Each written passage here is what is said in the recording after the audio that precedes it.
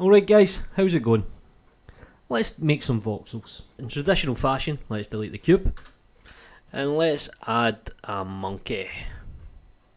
Now just so we can see it, jump into the shading tab, we'll give it a new material, and we'll just give it a base colour or something. Back into object mode and layout.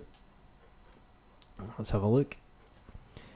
In the modifier tab here, the spanner, go to add modifier, go to remesh, change the mode from sharp to blocks, and that'll give you that kind of Minecraft effect. The higher the depth, and the more detail that you'll get. In terms of scale, the lower you go down, the larger the blocks become.